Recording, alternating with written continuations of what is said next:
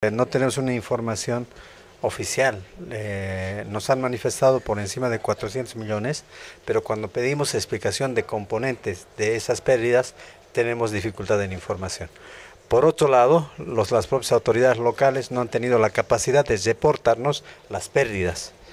Eh, superficie perdida, superficie cultivada perdida, no ha habido de muchos municipios, algunos como Santa Rosa del Sara o como Yapacaní, de alguna forma nos han mandado los informes, unos cinco municipios, pero los demás no nos han informado. Entonces, pero eso es extraoficial, no podemos tomarlo como oficial. Nosotros no, no, no, es suficiente con decir, hemos pedido 400 millones. Nosotros pedimos explicación en qué se expresan esos 400 millones. Eso tiene que ser muy claro para que sea oficial, ¿no? Nosotros a base de estas informaciones hemos hecho una intervención en el campo a través del Observatorio Agroambiental Productivo y hemos establecido que las pérdidas ascenderían a 247 millones de dólares aproximadamente.